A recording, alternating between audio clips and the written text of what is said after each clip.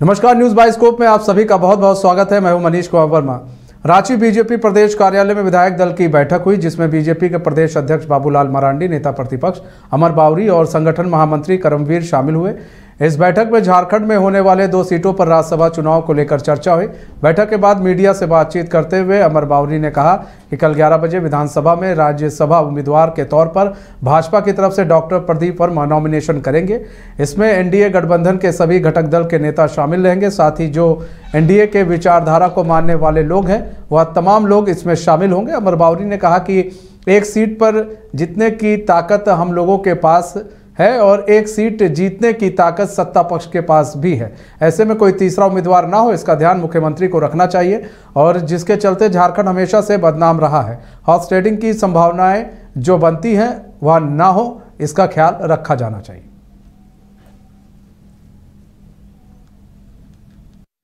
सरकार में है, उसके पास भी एक सीट जीतने की ताकत है। भारतीय जनता पार्टी के केंद्रीय नेतृत्व ने डॉक्टर प्रदीप वर्मा, जो प्रदेश के महामंत्री हैं, कई बार से पार्टी में सक्रिय कार्यकर्ता रहे हैं तो उनको नामित किया है राज्यसभा के सदस्य निर्वाचित होने के लिए एक प्रत्याशी के रूप में। आज विधायक दल की बैठक हुई थी और बैठक में हम लोगों ने उनको प्रत्याशी के रूप में सहमति प्रदान करते हुए कल साढ़े ग्यारह बजे सभी सामूहिक रूप से एनडीए के सारे दल के लोग जाएँगे और उनका नॉमिनेशन कराएँगे। झारखंड बदनाम रहा है, हमेशा से होस्ट ट्रेडिंग के कारण से। इसलिए सत्ता पक्ष के माननीय मुख्यमंत्री से आग्रह होगा कि किसी भी प्रकार का साहिबगंज में पूर्व मुख्यमंत्री हेमंत सोरेन की पत्नी कल्पना सोरेन, मंत्री हफीजुल हसन के साथ बरहेट विधानसभा के सुंदर पहाड़ी डब्रूहाट फुटबॉल मैदान हवाई मार्ग से पहुँची। इसके बाद उन्होंने बरहेट विधानसभा के नौगशिया मैदान में सभा को संबोधित किया। सभा को संबोधित करते हुए कल्पना सोरेन ने अपने पति विधायक हेमंत सोरेन को लेकर कार्यक्रम में उपस्थित लोगों के बीच बोली कि केंद्र की मोदी सरकार की जाँच एजेंसी ईडी ने उन्हें बेवजह फंसाकर जेल में डाला है। जनता इसका जवाब 2024 के चुनाव में देगी। उन्होंने कहा कि झारखंड ना झुका है, ना झुकेगा। वहीं कल्पना सोरेन ने पटना प्रखंड के कुंवरपुर फुटबॉल मैदान में भी पहुंचकर सभा को संबोधित किया। इधर मंत्री हफीजुल हसन ने भी इस दौरान साहिबगंज ज़िले के योजनाओं का शिलान्यास एवं उद्घाटन किया।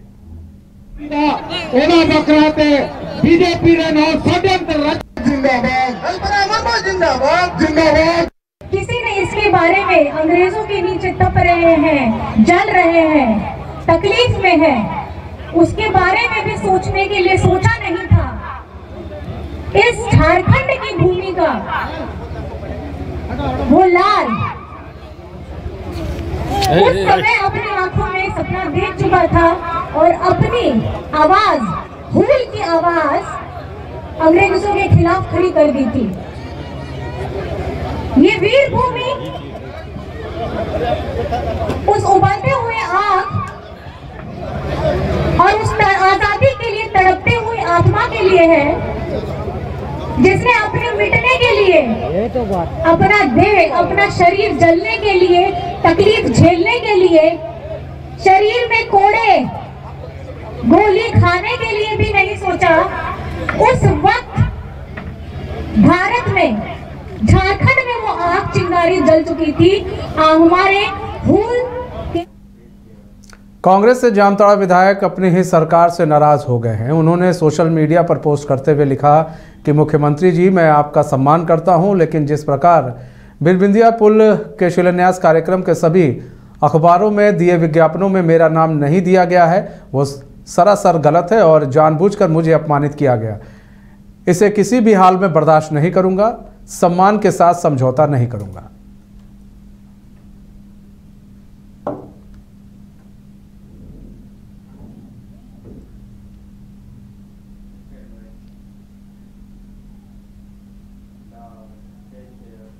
झारखंड लोक सेवा आयोग की तरफ़ से झारखंड न्यायिक सेवानिवृत्त सिविल जज जूनियर डिवीज़न प्रारंभिक प्रतियोगिता परीक्षा संपन्न कराएगी। इसके लिए राजधानी रांची में भी परीक्षा केंद्र बनाए गए थे। इन परीक्षा केंद्रों पर कदाचार मुक्त वातावरण में परीक्षा का आयोजन कराने का दावा प्रशासन की तरफ़ से किया गया। परीक्षा को देखते हुए वरीय पुलिस अधीक्षक रांची द्वारा पुलिस बल और एवं पुलिस पदाधिकारी के साथ दंडनाधिकारी की भी प्रतिनियुक्ति की गई थी।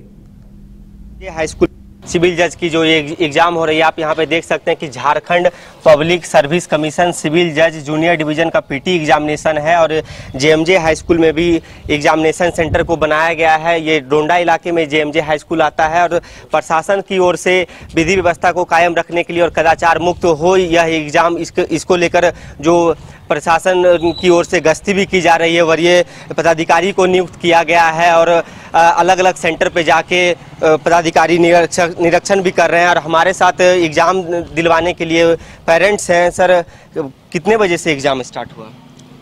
एंट्री हुआ दस बजे से। एग्ज़ाम स्टार्ट है ग्यारह बजे से। ग्यारह बजे दो दो घंटा का एग्ज़ाम है। दो घंटा का एग्ज़ाम है। कहाँ से आए हैं? मैं रांची से ही है छुट्टिया छुट्टिया से जी। तो ये ये दो पाली में एग्जामिनेशन है आज। शायद हमको लगता है और भी स्टूडेंट्स खड़े हैं शायद हो सकता है सेकंड हाफ़ में भी होगा। आप आप किनको दिलवाने के लिए मेरा बेटी को बेटी।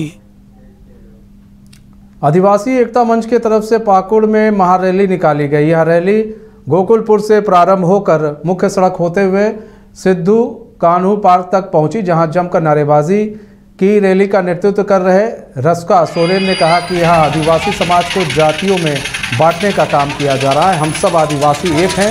वहीं आदिवासी एकता के केंद्रीय कमेटी के डॉक्टर सुशील मरांडी ने कहा कि पूरे देश में न सिर्फ़ आदिवासी बल्कि दूसरे समुदाय के लोगों को भी एक दूसरे से बांटने का काम किया जा रहा है। इस दौरान उन्होंने केंद्र सरकार पर भी निशाना साधा।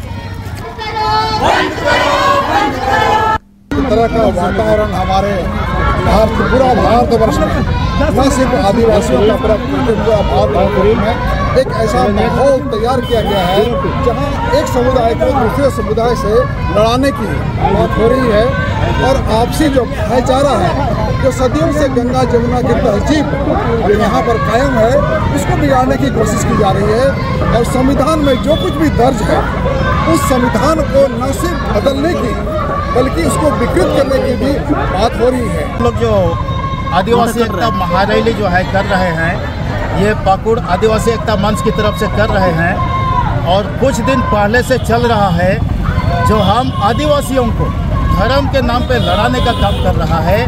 कुछ संघ परिवार के द्वारा ये चीज़ किया जा रहा है। तो हम ये आगाह कराना चाहते हैं कि हम सभी आदिवासी विभिन्न धर्म के लोग हैं लेकिन हम सब राजधानी रांची के धुरवा स्थित लाइट हाउस प्रोजेक्ट के का ऑनलाइन उद्घाटन प्रधानमंत्री नरेंद्र मोदी ने किया। इस अवसर पर 10 लाभुकों को सांकेतिक रूप से चाबी देकर गृह प्रवेश कराया गया। लाइट हाउस प्रोजेक्ट के अंतर्गत 1008 आवास तैयार किया गया। लाभुकों के बीच लॉटरी कर आवास आवंटन किया जा चुका है। इस मौके पर रांची के सांसद, हटिया विधायक, नगर प्रशासक अमित कुमार समेत अन्य शामिल हुए।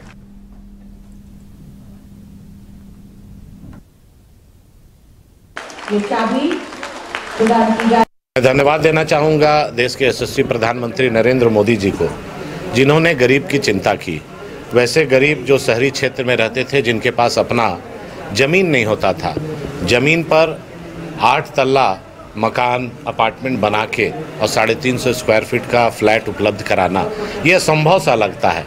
लेकिन यशस्वी प्रधानमंत्री नरेंद्र मोदी जी के पहल से, उनके प्रयास से, केंद्र सरकार का साढ़े छः लाख रुपया सहयोग, एक एक लाख रुपया राज्य सरकार का सहयोग। और जितने में रेंट देते थे जो गरीब, दो हज़ार, तीन हज़ार, दो हज़ार, तीन हज़ार अब इंस्टॉलमेंट देकर वो गरीब अपना आसियाना ले रहे हैं, जो भाड़े के मकान में थे, स्लम एरिया में थे। आज उनके लिए ये स्वर्ग जैसा महसूस हो रहा है। और आज हम लोग आके देखे, इतना सुंदर, अद्भुत सा नगर निगम ने बहुत इसमें मेहनत की। प्रधानमंत्री नरेंद्र मोदी जी का आभार व्यक्त करना चाहता हूँ। और यही मोदी की गारंटी है। मोदी की गारंटी कि 25 करोड़ लोग जो गरीबी रेखा के ऊपर आ गए। और गाँव गरीब किसान, चाहे उसको प्रधानमंत्री आवास हो, चाहे लाइट हाउस हो, चाहे शौचालय हो, चाहे गैस चूल्हा सिलेंडर हो, चाहे जनधन खाता हो, चाहे आयुष्मान भारत हो, चाहे विश्वकर्मा योजना हो, ऐसी ऐसी योजनाएँ आज़ादी की इन पचहत्तर साल में। ऐसी योजनाएँ जो धरातल पर उतरी। और आज जो लाइट हाउस प्रोजेक्ट एक हज़ार आठ, ऐसे कहते हैं गरीब लोगों को, सिर्फ़ पाँच लाख रुपए में पाँच लाख रुपए में इतना बढ़िया फ्लैट, ये मोदी है। बेरमो के चंद्रपुरा में केंद्रीय औद्योगिक सुरक्षा बल इकाई की तरफ़ से सीआईएसएफ के पचपनवे स्थापना दिवस के अवसर पर परेड, वेपन ड्रिल एवं अग्निशमन दस्ता द्वारा फायर डेमो प्रस्तुत किया गया, जिसमें मुख्य अतिथि, वरिष्ठ प्रबंधक एवं मुख्य अभियंता सह परियोजना प्रमुख सीटीपीएस चंद्रपुरा मनोज कुमार ठाकुर एवं वरिष्ठ प्रबंधक आरपी शाह उपस्थित रहे। सीआईएसएफ स्थापना दिवस के अवसर पर प्रस्तुत किए गए सभी कार्यक्रमों के विजेताओं को पुरस्कृत किया गया एवं मुख्य अतिथि के द्वारा सीआईएसएफ बल कर्मियों एवं उनके परिजनों को शुभेच्छा दी गई।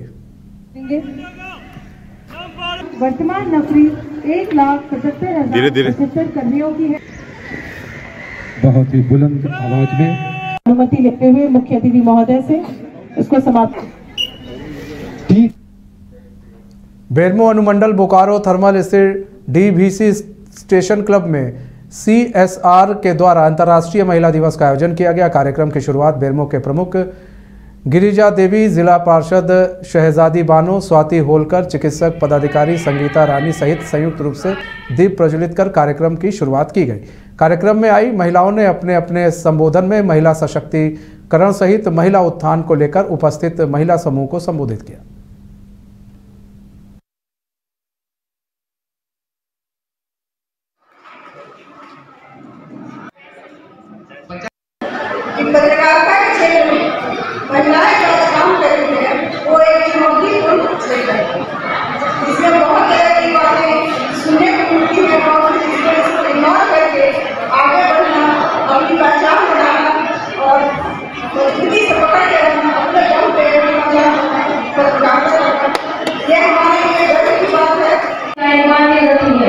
जैसे माँ, बहन, पत्नी, दोस्त, और भी बहुत कुछ। वे हमें नैतिक साथ देती है, हमें प्रेरित करती है और हमारे जीवन को बेहतर बनाने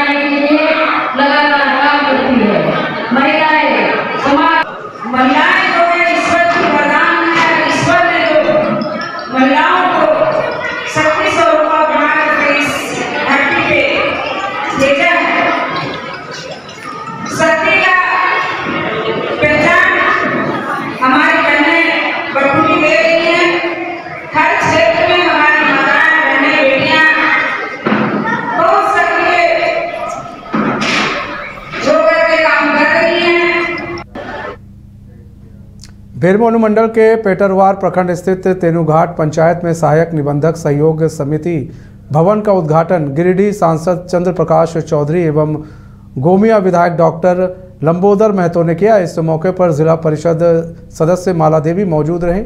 वहीं डॉक्टर महतो ने बताया कि तेनुघाट के लिए ये गौरव की बात है कि पंचायत में इस भवन का उद्घाटन किया गया। अब लोगों को निबंधन कराना आसान होगा।